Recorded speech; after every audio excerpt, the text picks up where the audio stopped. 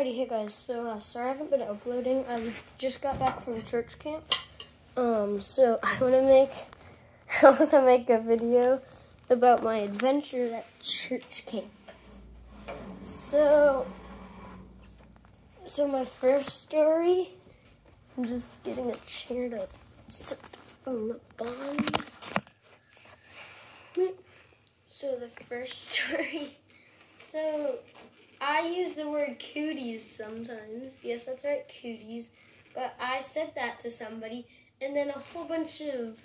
Now I can't name drop this place, but it was it was really funny. But I'm not gonna name drop.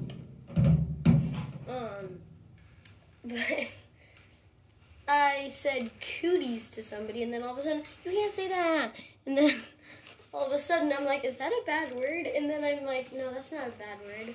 Um, and it was so funny. Another story, there, so there, when we were doing devotionals, this kid found a piece of dirt. Excuse me. Um, but it was actually a piece of decrepit horse poop. Um, and then one of the counselors was like, "Bro, that's decrepit horse poop." And then it kept going on for a while. He kept picking it up and sprinkling uh, it was grass on it. And then there was this one kid, he was really annoying. Not very many people liked him there.